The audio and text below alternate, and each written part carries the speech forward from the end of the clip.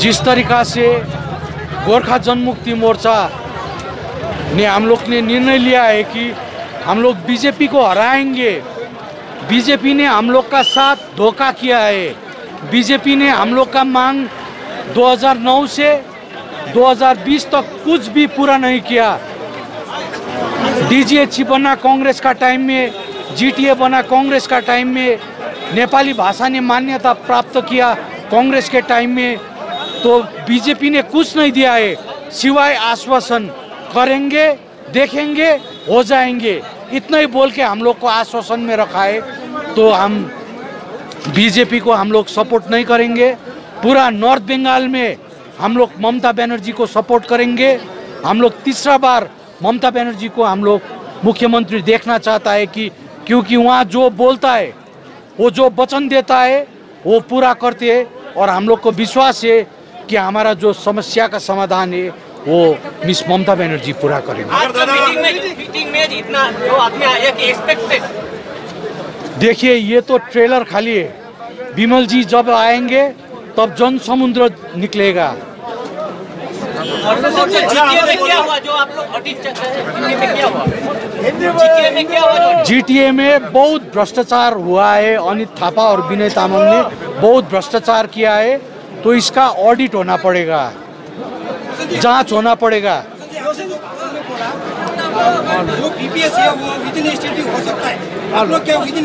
देखिए अभी भी जो जीटीए वो विद इन स्टेट है। केंद्र सरकार ने तो कुछ नहीं किया। केंद्र सरकार ने कुछ नहीं किया। होम मिनिस्ट्री ने कुछ नहीं किया। जीटीए का ऊपर रिवॉल्व कर दिया जो आ, मीटिंग था। तो जीटीए में क्या कर सकता है? स्टेट में क्या कर सकता है? जो स्टेट का पावर है, वही तो ट्रांसफ़र हुआ है जीटीए में। तो केंद्र सरकार क्या कर सकता है? केंद्र सरकार केंद्र सरकार गोरखालैंड देगा, केंद्र सरकार यूटी बनाएगा। वो टॉक्स तो जीटीए का लिए बुलाता है तो हम लोग हम लोग कैसा विश्वास करें? देखिए, अभी फ़िलहाल मिस ममता बनर्जी से हम लोग समझौता करके हम लोग बात करेंगे। तपाईँहरूले जुन प्रकारले भन्नुहुँदैछ नि दुई हजार सत्रको आन्दोलनमा एउटा पुलिस अफिसर पनि उसको पनि हत्या भएको थियो भनेर जुन प्रकारको तपाईँहरूलाई एलिगेसन लागेको छ होइन अन्त विमल गुरुङलाई पनि एफआइआर गरेको छ। तर अहिले घरि जनताले त्यो तेह्रजना मानिसहरू जो शहीद भएको थिए उहाँहरूलाई हेर्दाखेरि तपाईँलाई लाग्छ कि जनताले तपाईँहरूलाई भोट दिन्छ? हेर्नुहोस् जनताले अवश्य विमल गुरुङको नेतृत्वलाई गोर्खा जनमुक्ति मोर्चालाई साथ दिनेछ सहयोग गर्नेछ। किनभने एजिटेसन हो।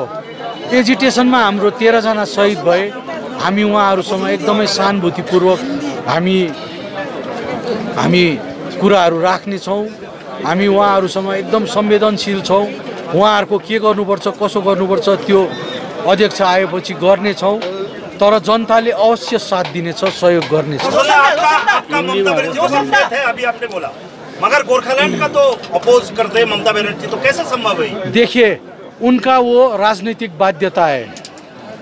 हम लोग गोरखालैंड का मुद्दा हम लोग उठाएँगे। 2024 का जो लोकसभा चुनाव होगा उसमें हम लोग जो पार्टी गोरखालैंड का मुद्दा को सपोर्ट करेंगे उसी पार्टी को सपोर्ट लोगों जो केस जो चल रहा है देखिए वो पॉलिटिकल केस है पॉलिटिकली सॉल्व हो जाएगा। ना रोशन दा क्या आने वाला दिन में आप लोग और फ्रैक्शन एक ही मंच पे दिखाई देगा? देखिए एक ही मंच में कभी दिखाई नहीं देगा। उन लोगों का क्या होगा? उन लोगों का क्या वो लोग वो लोग जाने। जनता तो हम लोग का साथ है विमल जी का साथ है। तो देखिए वो लोग ज़बरदस्त नेता हुआ है। नहीं नहीं नहीं अगर ममता दीदी को आप लोग सपोर्ट कर रहे हैं इक्कीस में और टीएमसी भी विनय टीएमसी सपोर्ट कर रहा है? अगर कैंपेन होगा तो दोनों क्या मंच में दिखाई देगा नहीं दिखाई देगा।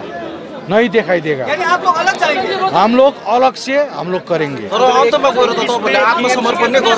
आत्मसमर्पण गरेको छैन। गोर्खाल्यान्डको मुद्दा गोर्खाल्यान्डका मुद्दा हम लोग ने नै बेचाए। गोर्खाल्यान्डका मुद्दा हम लोग ने नै बेचाए। गोर्खाल्यान्डका मुद्दा यथावत है। गोर्खाल्यान्डका मुद्दा को आत्मसात करके ही चलेंगे। लेकिन बंगाल गोर्खाल्यांड नहीं दे सकता है। बंगाल असेंबली गोर्खालैंड नै दे सकता है। वो पार्लियामेंट का प्रेरोग्रेटिव है। और जो पार्टी गोरखालैंड का मुद्दा को सपोर्ट करेंगे 2024 में उसी पार्टी को हम लोग समर्थन